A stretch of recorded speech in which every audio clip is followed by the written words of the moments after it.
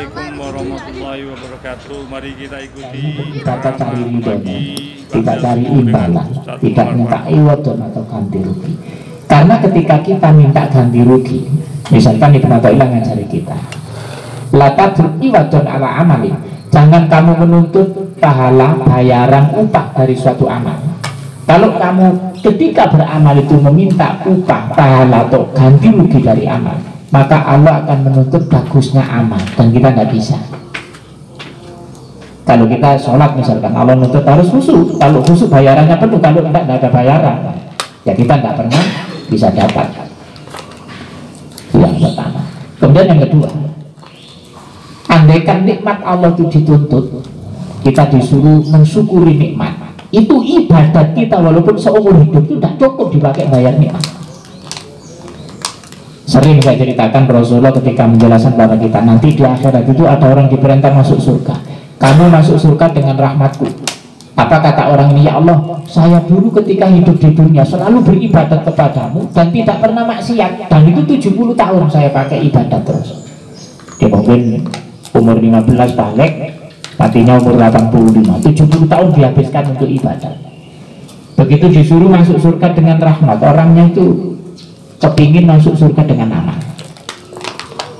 Ternyata Allah manggil malaikat taruh mizan timbangan amal timbangan ibadatnya orang ini yang 70 tahun tidak pernah maksiat. Dengan nikmat yang aku berikan satu saja mata sebelah. Bukan dua mata ini sebelah. Kata guru saya ketika menerangkan. Ternyata amal 70 tahun yang ibadat tok nggak pernah maksiat itu? Kalah dengan nikmat mata. Berarti amal 70 tahun itu tidak cukup dipakai untuk mensyukuri nikmat mata. Belum yang lain. Dan ini miliaran nikmat yang ada pada kita. Makanya kata Allah wa ita'udu nikmatallahi la tuksuha andaikan kalian menghitung nikmat Allah tidak akan mampu tidak bisa dihitung nikmat dan alhamdulillah kita kadang dihitung. Itu dihitung medit kan. Mangan ngeten gelegen begitu baik baik alhamdulillah. Guru saya kalau ngajari saya ya apa yang Allah itu nuntut ucapan alhamdulillah kepadamu tiap satu biji nasi. Susah kan satu piring leren ngitung tadi canggih mulut dihitung di sini enam itu walu sak jumput diblok alhamdulillah alhamdulillah. Seperti susah. Jadi ikhlas itu yang diminta oleh Allah. Kemudian yang kedelapan ahabu ibadi ilayya ajalukum fitrah. Ini yang paling dicintai oleh Allah dari hamba-hambanya ya, ialah orang yang ketika berpuasa itu menyegerakan untuk berbuka. Ini, ini hadis yang ke delapan kalau tadi di Sirah Nabawiyah itu di dalam riwayat yang lain. Ketika Rasulullah mau bangun masjid di Madinah para sahabat Ansor ini perhatikan semua pada menawarkan tanah. Ya Rasul bangun masjid itu di tanah saya saja yang satu di tanah saya saja ya Rasul. Jadi semua mengusulkan untuk bangun masjid di tanahnya. Jadi untuk satu urusan ini kita tidak bisa nandingi sahabat itu tidak bisa. Ada orang saudara Ustaz kan gak bangun masjid ya salah aku bangun masjid mari misalnya ketepaan pun misalnya ada ada. Ada. Kalau di Surabaya ada bapaknya wakok musola anak ngedol ono ada didol biyen soalnya kata mikir. Omah nek diwakokno musola masa iki aku gak diopo-opo nih tak boleh suratnya yo gak ana tak dol didol ditakoni sama sahabat lah bahwa kabeh bapakmu kota kan sing sholat tuh sak sepi saya kok orang sholat tuh kan sing sholat dari ini. Jadi boleh tak musola nek sing sholat sepi ku ditolak sing orang yes, itu makanya akhirnya Rasulullah itu gini saja. Jadi semua niat baik kalian saya terima. Kemudian akhirnya onta Rasulullah itu dijalankan. Nanti onta itu berhenti di mana? Ya di situ tanah itu akan ditempati pembangunan masjid. Maka di dalam riwayat tadi juga dijelaskan ketika Rasulullah nyari tempat tinggal ternyata ontanya berhenti di tempatnya Abu Ali Pak Mansori kemudian ketika bangun masjid jadi situ di sebelahnya. Di rumah Rasulullah itu di makamnya itu kemudian masjidnya ya Rasulullah itu. Jadi kata Rasulullah antara mimbarku dan rumahku itu Raudatul Jannah. Taman surga. Makanya mesti rebutan orang di situ Rasulullah bangun masjid pertama ketika di Madinah itu menghadap Baitul Maqdis Gak tahu ya saya kalau nggak bingung. Kalau di sana itu nggak pikir ngadepnya Masjid Nabawi itu ke arah Ka'bah itu ngadep itu. Kayak ini sing ini keluar kalau mataharinya keluar. Berarti dulu mungkin sebelum itu itu menghadapnya ke utara. Ketika ada Baitul Maqdis karena di Palestina jadi kurangnya gampang sebetulnya antara Madinah dan Palestina kita lanjutkan. Hadis ke sembilan dan tadi saya jelaskan sedikit belum tuntas ya ketika Rasulullah menjelaskan pada kita. Tadi masjidnya kita dikasih info sedikit sama penulis Sirah Nabawi. Masjid Rasulullah itu atapnya dari daun kurma. Kemudian tiangnya dari pohon kurma. Kemudian lantainya dari pasir yang kadang ada kerikil-kerikil kecil itu lantai Masjid Rasulullah. Di situ keluar sahabat-sahabat Rasulullah yang imannya luar biasa. Semuanya kekasih Allah. Masjidnya pasir kalau sekarang masjid kita ini lantainya wis bagus. Sik ditukokno karpet empuk. Terus yang sembahyang lebih sumuk dikai asik. Akhirnya ada pengajian dikit itu saya ndak gue mantuk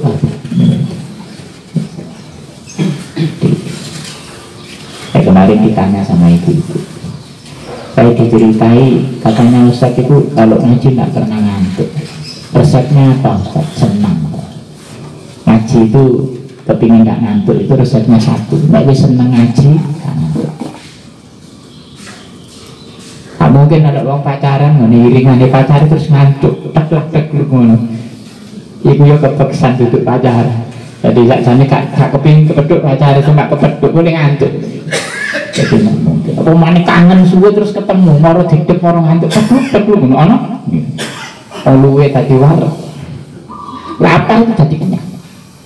Orang yang lapar ketemu yang dicintai. Atik gak kroso warek bujuk cintai. Apa nama bu wong lanang pengen cinta ya nang aku. Jadi keimangan. Kau mendelok kayak mati ngomong luwe berarti gak? Cinta jadi orang yang lapar itu kalau ketemu sama yang dicintai langsung kenyang. Di kitab Munabiat itu diceritakan ada seorang wali perempuan.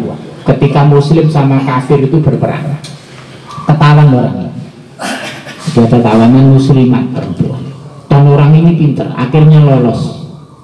Setelah lolos dari tempat tawanan itu lari sampai beberapa fase diterangkan di situ ketika lari itu haus lapar berhenti baca dulu langsung tidak haus terus kenyang terus lari lagi.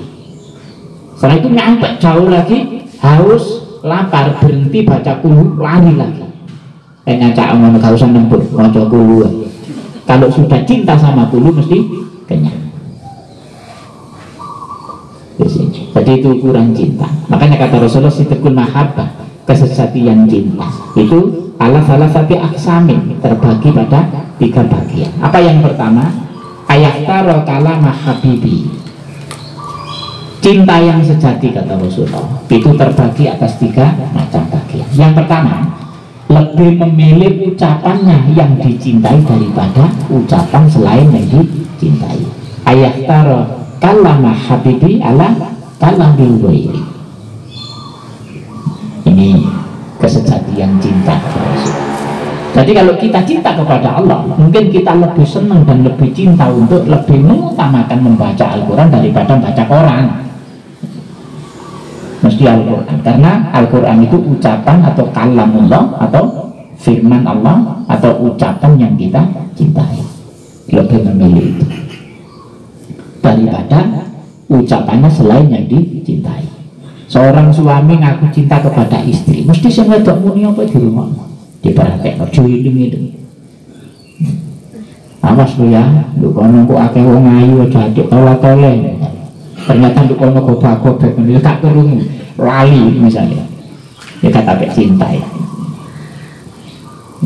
Seperti itu. Kemudian yang kedua ayah tara mujalasata habibi. Lebih senang duduk bersama yang dicintai daripada duduk dengan selain yang dicintai. Kemudian yang ketiga apa kata Rasulullah? Ayah taro ridho habibi Allah ghairi. Lebih memilih ridhonya yang dicintai daripada selain yang dicintai. Di situ. Mungkin saya boleh contohkan sedikit. Saya dulu itu masih muda itu kumpul sama orang-orang yang doyan rokok. Jadi sehingga kalau nggak punya uang itu tuku bako terus digelintir. Jadi saya dulu ketika masih muda itu si ngetreng ini bentul biru rokok bentul biru. Sekarang kan nggak ada. Itu. Kemudian begitu kenal nyonya nyonya itu tahu saya rokok masih diem. Begitu habis saya hitbah saya lama ngomong ini ulun boten senang wong rokokan aku langsung lereng rokokan kenapa? Saya lebih memilih ucapannya yang saya cintai daripada yang lain. Begitu gak rokokan ketemu konco dirokok sembarang. Buka ngerokok saya ki musur kan musur kata kita ditawani rokok ini rokok bukan betul biru saja. Itu rokok enak itu rokok larang saya nggak mau. Sing dilokno jangan tadi gendong tak rokok tak minang lah nyusul kata mereka. Anak kan iso ngomong berarti cinta temenan kemudian yang kedua lebih memilih duduk bersama yang dicintai. Orang mukmin yang cinta kepada Allah kalau bisa duduk kemudian baca-baca berzikir dengan Allah itu asik. Tidak nanti gelap. Malah aku nanti ngopi. Es untuk ini banyak tasbih tapi ini tasbih kita terus budal ngopi berarti siji.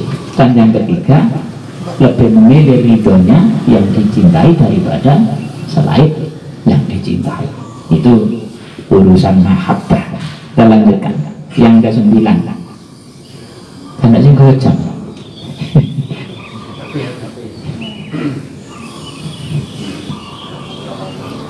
jam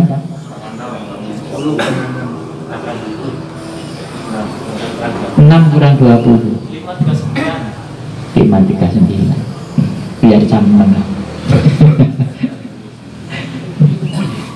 kalau saya ngejak biar jam itu dari jam kesuwan usah kawan jam itu ya. Seperti itu tapi enak panas renang di sana. Hadisan ke sembilan Ida berkala itu abdil mukmin fasobara falam yashkuni ila uwatihi tuhu min isari suma tuhu lahman khairan min lahmihi wa daman khairan min damihi suma yastaknifun akalah ini satu hadis di hadis kunci nomor 9 dari Abu Hurairah. Allah menjelaskan pada kita jika aku menguji kepada hambaku yang mukmin. Jadi di sini ada abdi mukminah di sini ada mutot harusnya kalimatnya abdan. Kemudian dimutot sama ya mutakalim idanya ibadorfiyah kalau kita belajar itu biasanya ida itu dorfun lima yastak dulu lima zamani. Terus makna syarti mangsudun dijawab gitu kalau guru saya dulu ngajari saya. Jadi ida ini bisa menjadi sakti dan ini ida dorfiyah yaitu ketika. Ketika ibu tala itu aku menguji abdi hambaku. Ini untuk tidak ada pangkat paling hebat yang diberikan oleh Allah kepada seorang manusia hamba. Kecuali ketika Allah mengangkat hambaku abdi. Karena tadi malam kan ada orang yang jadi hamba dalam hamba dinar hamba istri hamba anak hamba dunia dan sebagainya. Itu ketika alikam dipisahkan ini abdi hambaku. Kemudian ada al mukminah ini jadi naatnya abdan. Cuman karena abdannya mudah menjadi abdi. Apabila aku memberi ujian atau menguji kepada hambaku yang mukmin fasobar kemudian bersabar falam yaskuni dan tidak mewadulkan atau mengeluh kepada di sini wali pengunjung-pengunjungnya. Jadi mungkin saya contohkan sedikit. Misalkan ada hamba Allah yang sakit kemudian ada yang sampah apa kata Allah? Ketika aku uji sakit itu dia tidak mengeluh kepada pengunjung-pengunjungnya yang sampah apa kata Allah? Jaminannya adalah tuh min isari. Aku akan tukar dagingnya. Jadi di sini adalah tuh min isari. Aku bebaskan ia dari ini usara itu tawanan. Aku bebaskan ia dari tawananku. Di, kita jadi orang yang bebas merdeka. Dibebaskan dari isari tawananku jadi kita tidak akan diperbudak oleh siapa saja, tidak akan ditawan oleh siapa saja. Ketika kita cuci, kemudian bisa sabar dan tidak wadul kepada yang sambang pengunjung-pengunjungnya. Kemudian Suma ini dilanjutkan sama Allah, abdal tuh aku akan menggantinya. Ini, kalau abdal itu dipakai fi'il mati berarti sudah telah aku gantikan berarti sudah diganti lahman dagingnya khairan daging yang lebih baik min dari dagingnya asalnya. Wadaman dan darah khairan yang lebih baik min dami dari harta apa darah sebelumnya. Fuma yastakniful amala. Ini istiqnaf. Kemudian setelah itu hambaku boleh memperbarui amal. Tadi setelah diuji itu langsung bersih dosanya. Daging yang haram itu diganti daging yang halal darah yang mengalir haram itu diganti dengan darah yang yang lebih baik dari darah yang semula. Kemudian Suma yastakniful amal setelah itu boleh memperbarui amal. Jadi ketika setelah itu beramal setelah diuji amal itu dicatat amal baru semua seperti tidak punya dosa sama sekali. Tapi syaratnya ini tadi. Syaratnya yang pertama ujian itu ketika diterima orangnya adalah mukmin. Yang kedua, fasobar sabar. Sabar itu ya tidak ngeluh, ya tidak sambat, ya tidak tidak merugi. Kemudian salam yasuni ila wadi tidak mengeluh atau wadul kepada orang-orang yang mengunjunginya sing ngunjungi ku yo ngono aja kaken takok. Dadi nek sambang wong loro ku didemek terus didungani. Takok ya apa ya apa boleh ceruwi itu semua. Hadis ini pernah dibahas oleh beberapa ulama. Ya apa kalau orang itu diuji waktunya sama dokter. Padahal waktu lambat dokter ku yo keliru. Dokter ku sekolah. Jadi nek tekan dokter nek tak ini nih guru ku nek ini. Tekan dokter sebenarnya dok saya periksa. Bapak sakit apa? Ya periksaan saya tidak tahu kan kan sing ngeru ini loro. Ya boleh ngono itu. Ben sing periksa aku yo gak rum pokoke aku gak enak. Uni yang ngono Jadi kan kak dokter mesti kan sing periksa ya ru aku iki kok gak enak. Nek takoni misalnya enggak keluar nih sama napa? Sumpek. Semoga timbangane keluarnya apa pak sumpah Enggak maksudnya sakitnya, makanya sumpah dok boleh dirumahkan pandemi misalnya. Misalnya.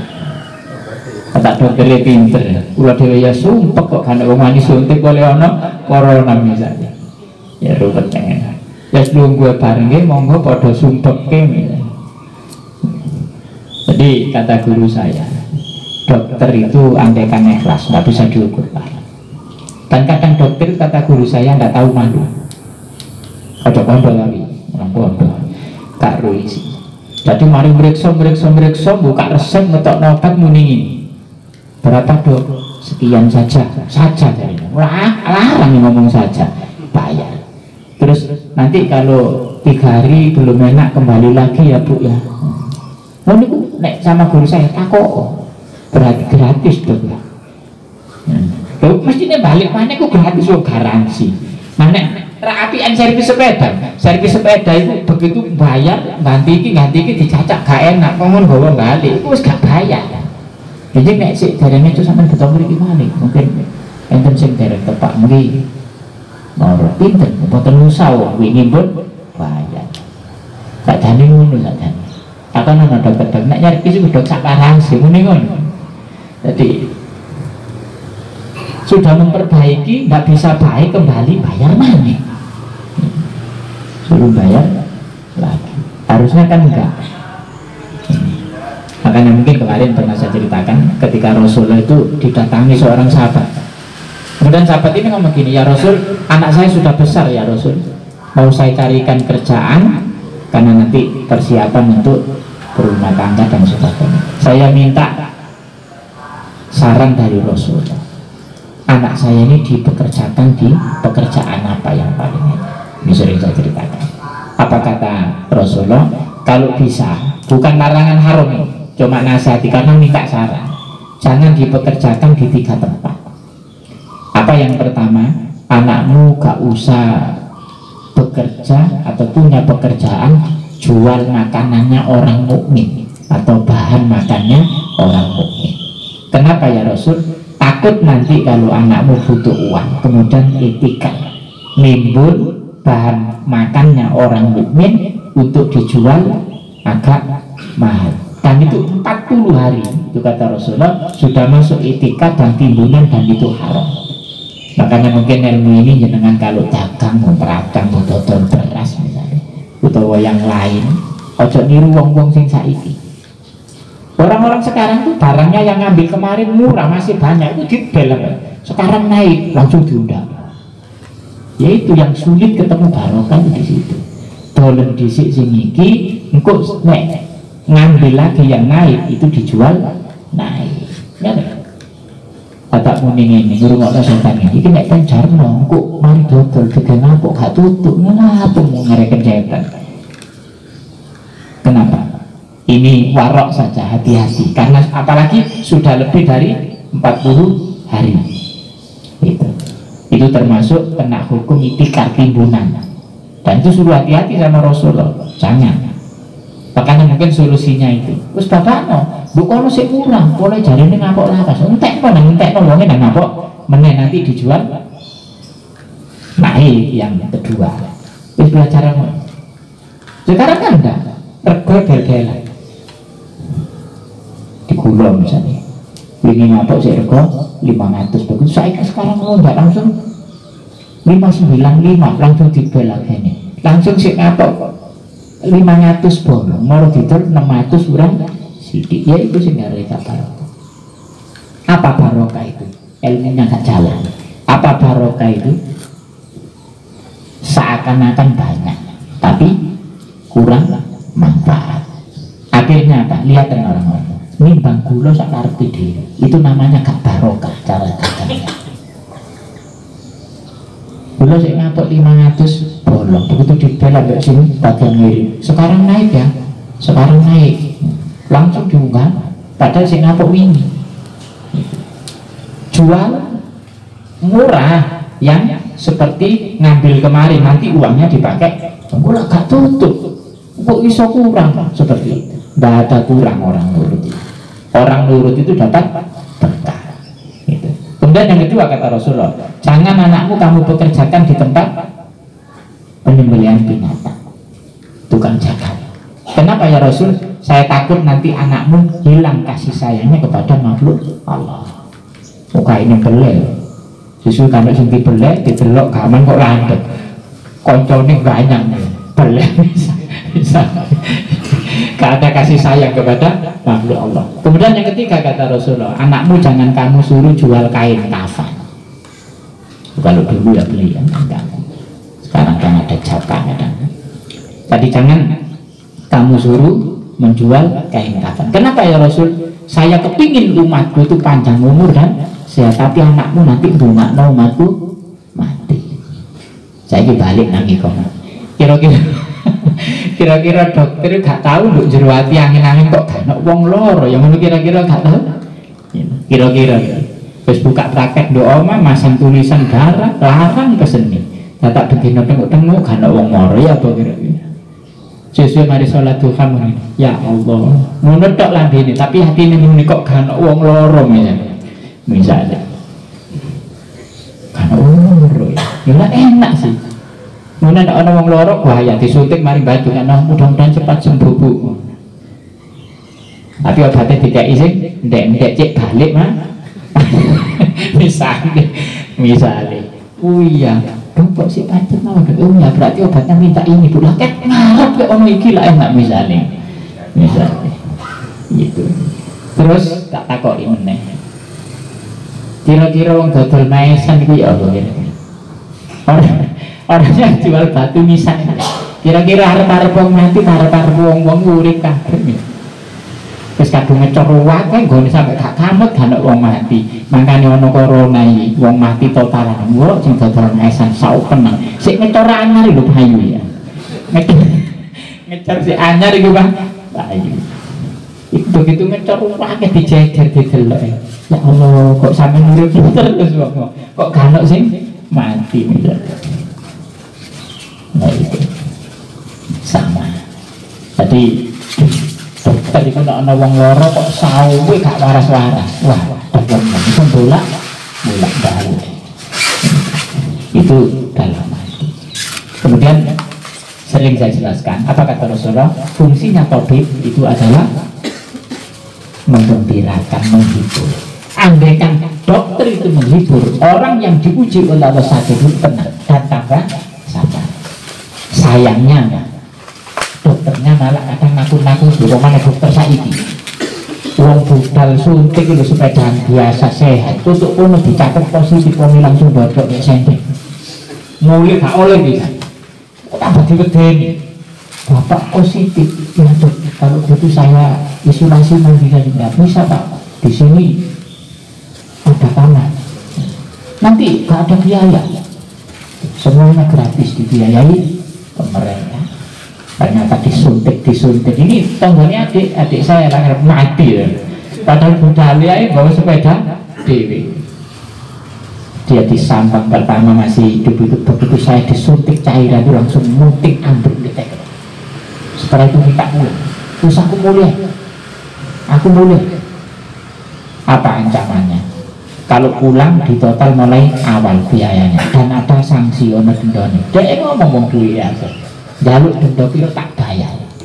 Itu totalannya piro tak bayar. Kaya adik gue ini di RSI ya itu tetap mau nanti pak kudu PCR ya. Nanti banyak-banyak Surabaya sing duit iya ke sampai ono sing PCR itu tetap lima. Lima nyacak. PCR pertama hasilnya positif. Tapi gak di gak di video sama dia tapi gak bisa dilaporkan. Terus selang beberapa jam berangkat lagi yang kedua negatif. Terus lagi PCR lagi yang ketiga positif. Terus yang terakhir negatif makanya lolos. Yang terakhir negatif. Itu empat kali. Positif negatif positif negatif. Dan biaya sendiri satu juta lebih. Nggak tahu pak berapa pak Jun? Satu juta dua ratus jadi sekarang mungkin turun.